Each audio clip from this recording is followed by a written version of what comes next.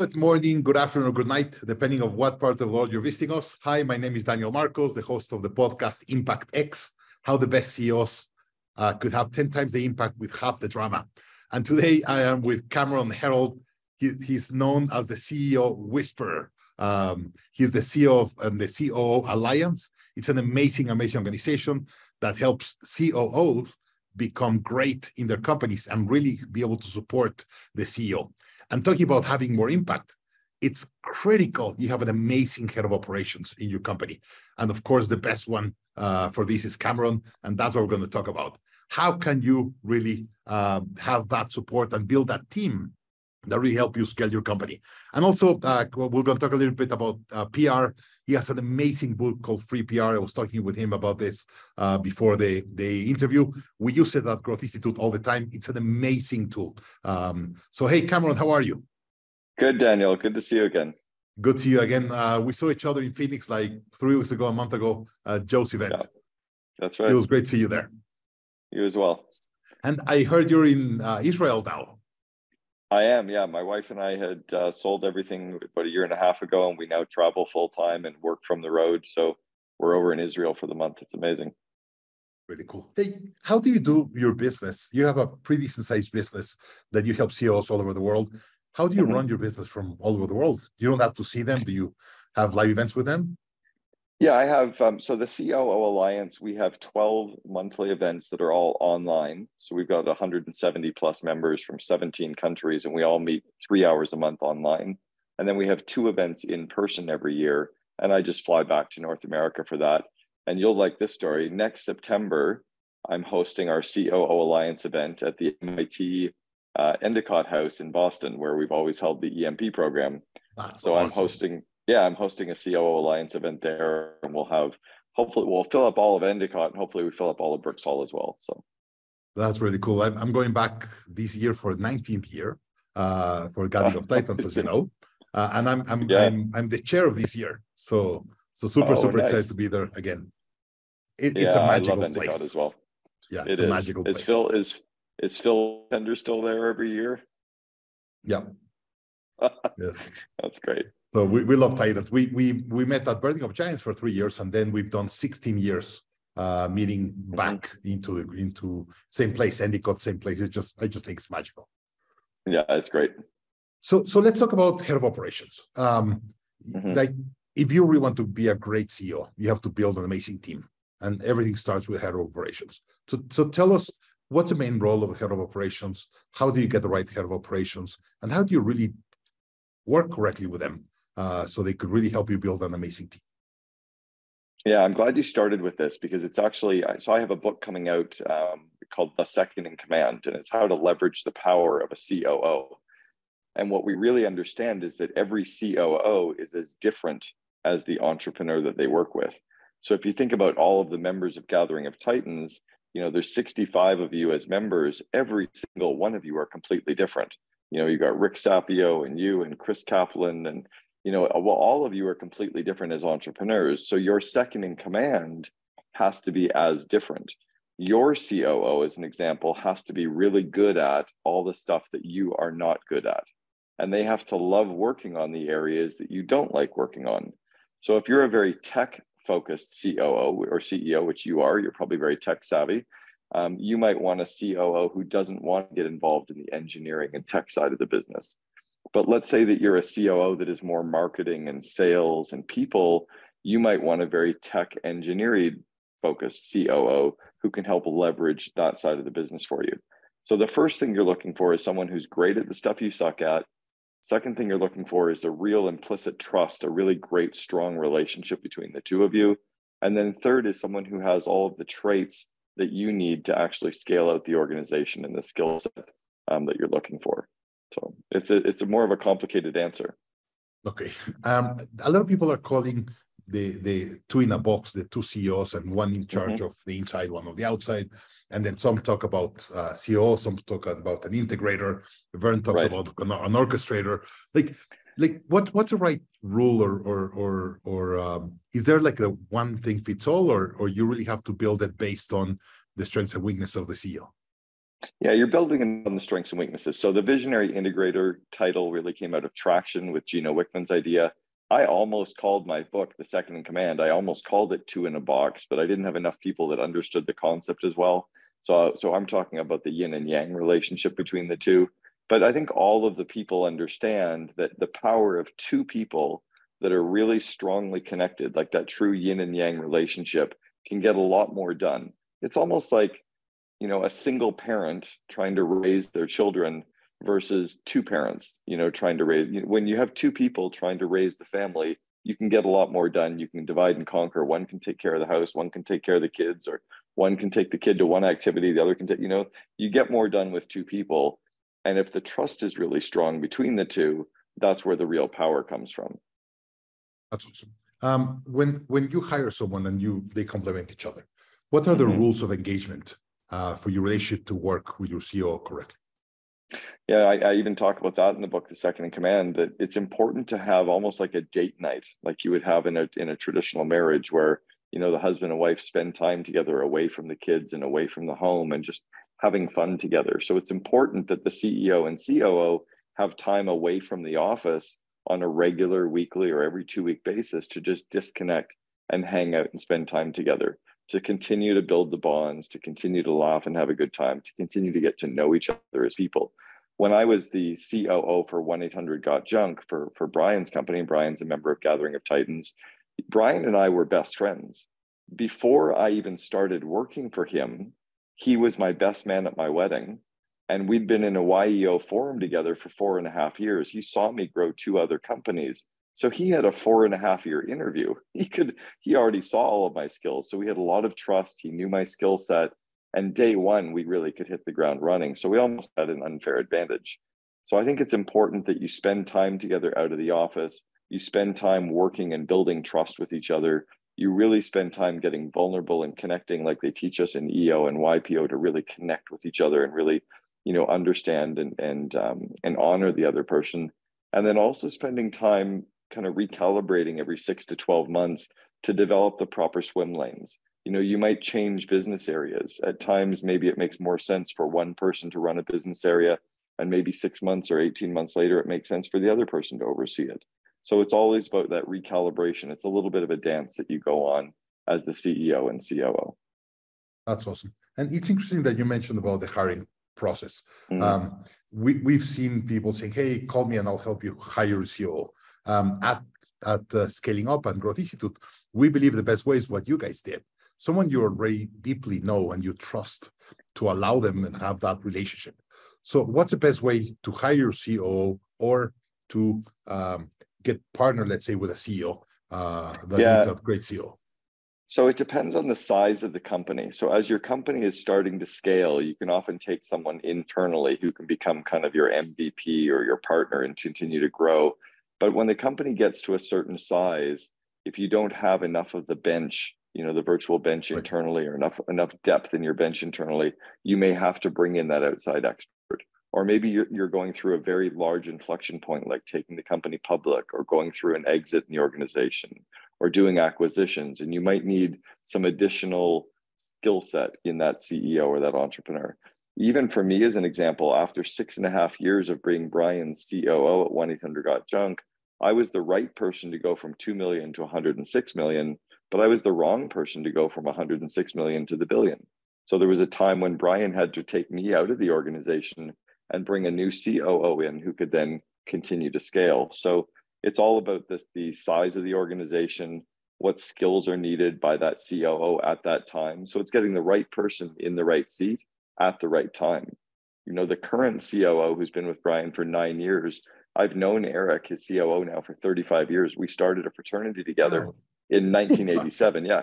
I was the president of the fraternity in the first year. Eric was president the second year. And then I was Brian's first COO. Eric's now the third COO, but Eric's been there for nine years. Eric would have been a horrible COO for the first six years, as I would have been horrible for the nine years he's been there. He would have been the right person at the wrong time. So it's all about finding that that balance again. So sometimes an executive recruiting agency is a really good tool to use to go help you find the right person and plug them in. But you have to make sure that you know everything about them before day one. You really have to grill them. You really have to go through the torque process. So I try to follow all the rules of top grading in Geoff Smart's book, Who, and really make sure that you build those systems so that you know everything about the candidate before you bring them in.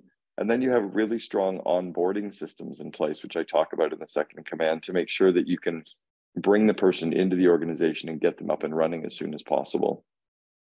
That's awesome. Um, when when someone wants to really have build a relationship, as you said, they have to spend an hour or some time outside of the office.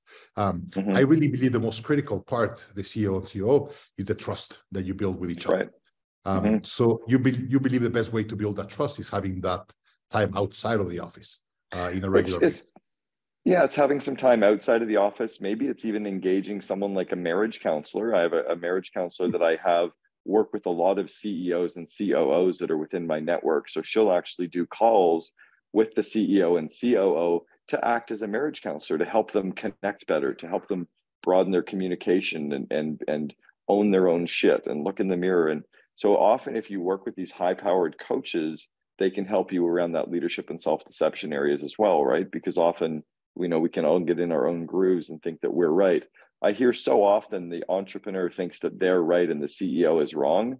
Oh, and then I hear the COO thinks they're right and the CEO is wrong. I think somewhere in between is the truth. So you can build trust and connection by getting a really strong, you know, marriage counselor to work with you as well. I have a great one, Dr. Patty Ann, who works with, you know, all of these different couples, but that can be helpful. Doing relationship or or trust deepening exercises like we do in EO and YPO forums, like doing a lifeline, you know, doing the lessons from the edge, really talking about the stuff that you've screwed up on in the past, you know, doing a lot of the communication starters, like really actually understand getting to know each other and doing some of those exercises can be powerful in building up the team. And then the next area I think is doing a few different personality profiles on each other. So you might do DISC and Strength Finders and um, Kolbe and and and then doing it with your COO as well, so that you get to understand them and they can understand you so that you can look at how do you mesh those skill sets together. It's it's the work that uh, most ceos don't spend time on. You know they hire the right person and then they say okay go do it. Well that doesn't work you know and then you you wake up a year later realizing that you didn't build the connection you didn't build the trust you probably abdicated too much responsibility you didn't really get to connect with each other so you just splintered off in different directions so imagine you get in COO Alliance a lot of CEOs that the CEO said, hey, you're wrong. You have to go and learn how to be a CEO and sent to you. Yeah. And then you realize that there, there's a problem communication or alignment there. So what do you recommend yeah. the CEO if they're having trouble with the CEO? We try to teach the COOs how to talk to the CEO in a way the CEO will listen. So first is making sure that the CEO understands that we're only telling them the tough stuff, the brutal facts, so that their company will continue to grow. We're telling them the things that no one else will tell them. You know, we're telling the entrepreneur, the CEO, the things that everyone else is afraid to tell them. I don't have a filter. So I always say stuff that I think everyone else is thinking, but no one has the guts to say.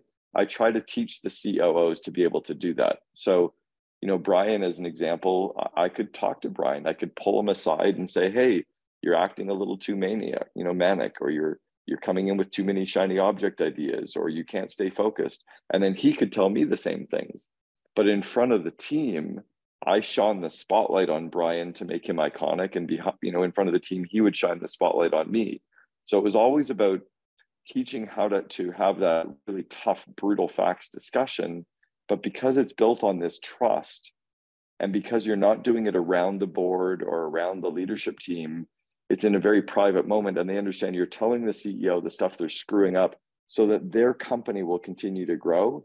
They often really appreciate that. It's kind of like the emperor's new suit. You know, someone needs to tell the king he's naked. Yeah. Interesting. All right. Uh, let's let's move from the CEO to the rest of the team. Uh, you sure. and I are very aligned in the only way to scale a company is really scaling the team. Yeah, two people can only get you so far. you got to get That's the rest right. of the people growing too what the best way to build that team for your team to help you to build a company? Yeah, so it's interesting. I before I built 1-800 Got Junk with Brian, I was a part of an organization called College Pro Painters. And College Pro became the world's largest residential house painting company.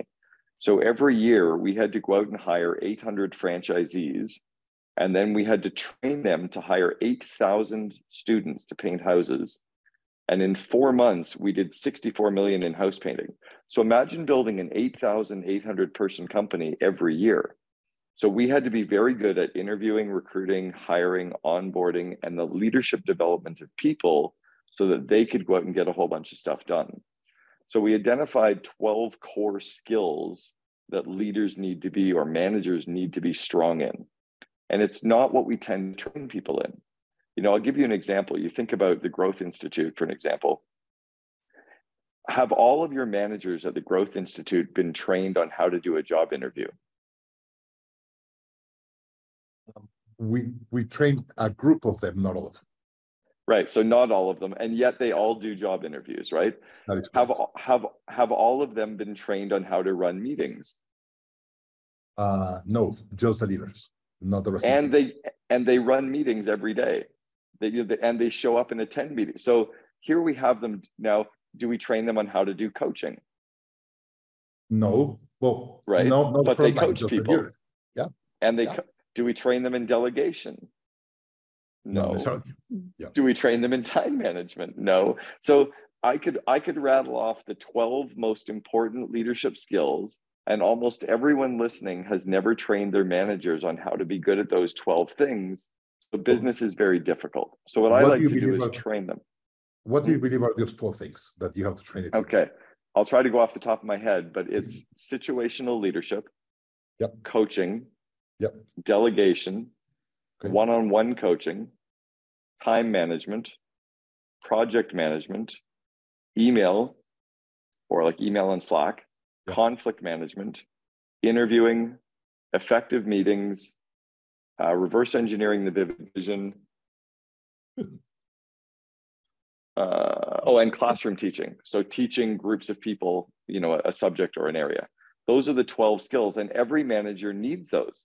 You know, so if we train them on those skills to a level of competency, almost like a bronze, silver, or gold in a certain skill, if we can get their competency to a bronze or a silver, the organization goes faster. You know, it's not about, here's a, here's a classic example. The early managers, the new managers' solution to almost every problem is hire more people. Every time they bump into a problem, but that's never really mm-hmm. the answer and that's even more common outside of the US or developed countries. It's so oh, sure. expensive to hire someone in India or Bangladesh or, or Mexico Correct. that it's just throw more people. Hire 10 people, right? Do 10 yeah. more. But the opportunity is to become more efficient, to automate, to optimize, how to get more shit done with less people faster. But that doesn't tend to happen until you have a seasoned executive that knows how to say no, they know how to handle conflict, they know how to manage multiple projects. They delegate properly so they get the proper result back within the right amount of time and for the right amount of money.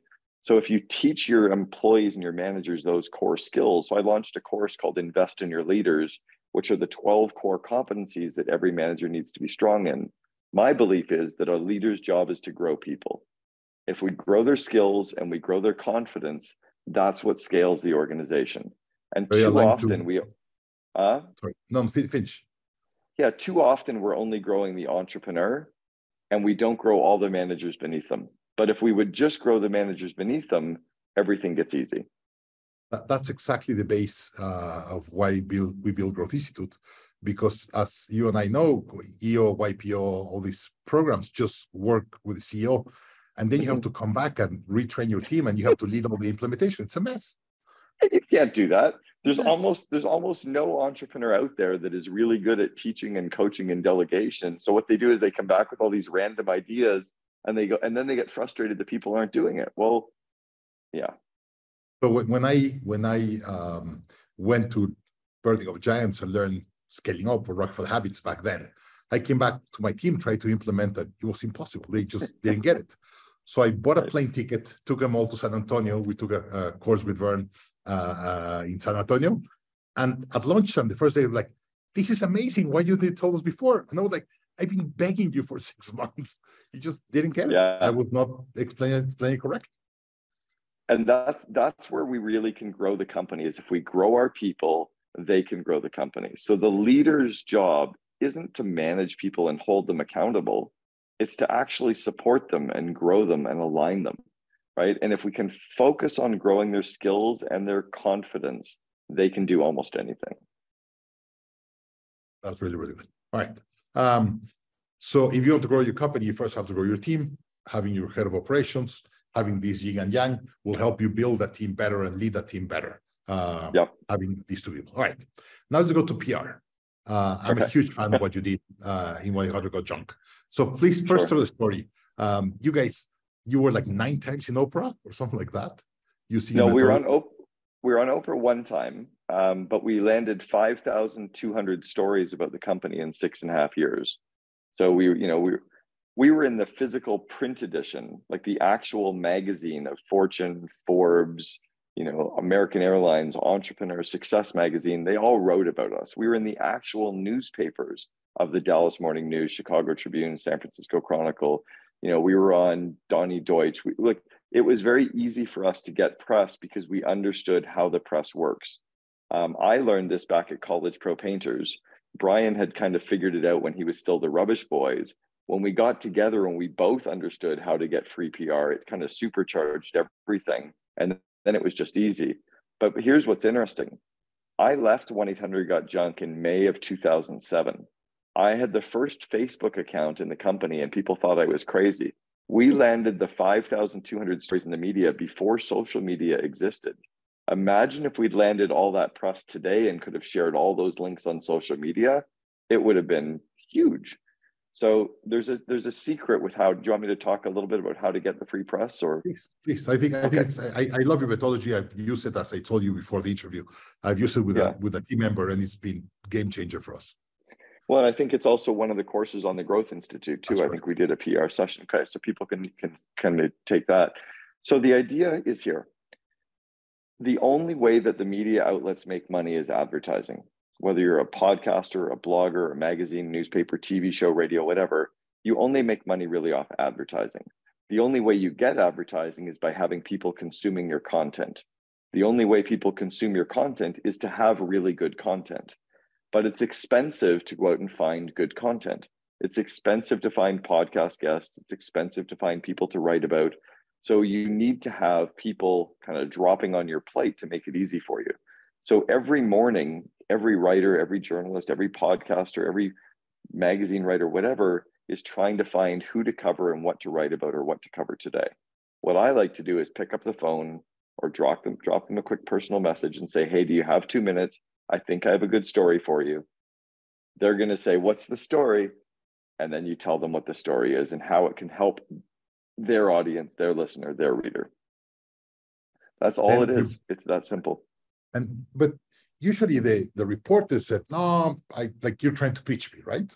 How how do you how do you talk to the reporter that is not a pitch and is mm-hmm. really helping them with content? So the first is recognizing that they really do need good content. So if you're trying to help, and it's to understand their audience. So if you understand, like for me as an example, I understand your audience is entrepreneurs typically of medium sized companies. You don't really like the one to 10 person companies. You probably like more the 10 to 250 person companies. So if I understand that's your audience, who can I speak to? I can give you a couple of story ideas for that audience. But if your audience is, you know, Fortune 500, you know, running companies of 5,000 to 50,000 people, I have to position my content in a very different way, right? I'm not going to talk to them about hiring a COO. They have a COO. What I might talk to them about is why their leadership development program and their leadership training programs are broken and how to put a uh, more entrepreneurial training program into their company that can quickly scale. That might be interesting to them. So you have to understand the audience or the listener of who your writer or podcaster is talking to so that you can position or spin the story so that they understand it's going to help their audience. Um, what's what's been the the best case study you've seen outside of 100 Got Junk that have used these? Um, uh, uh, you, you've heard a cool story after using your methodology. Yeah, one would be Kendra Scott, who built you know a, a billion a billion dollar brand. I trained Kendra at uh, the EMP program, probably in 2007. She really took PR and really ran with PR and, and how to generate tons of press. Another would be Naomi Simson from Red Balloon Days in Australia. Of Naomi course. was really great at leveraging PR and the Vivid Vision concept. She's now a, a shark on the Shark Tank or Dragon's Den. Indeed, um, Kendra is also in, in Shark Tank. She's a guest in Shark Tank in the US. Is she? Yeah. But yeah, So Kendra's Kendra's fantastic. And then another, I, I wish I could remember his name, but he, Ser, Sergey um, from Russia, he was from Moscow, landed a print article in the Forbes magazine in Russia just by contacting a writer and saying, "Hey, I have a good story for you." And um, you know, th- there's so many, there's so many, so many opportunities, so many press stories out there. And just to close the, the interview, what do you think is going to be the three main challenges we're going to leave as CEOs, CEOs in the next couple of years?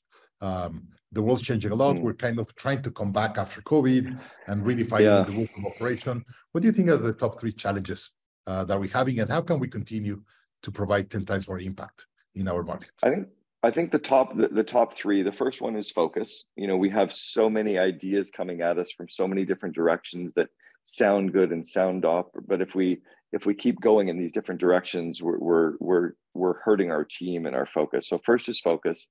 The second would be about building the hybrid organization and realizing that we can't have everyone come back to an office every day. It will never work. It will never scale. So how do you build a strong culture with a partially remote team, partially hybrid offices. That'll be the second. And then the third is is really understanding and how to leverage automation and technology so that we can get more done with less people faster, so that we can scale leveraging technology instead of hiring more bodies and throwing more people at it. I think that's going to be the third probably opportunity that entrepreneurs have. Right. Uh, Cameron, it's always a pleasure. Uh, great to connect.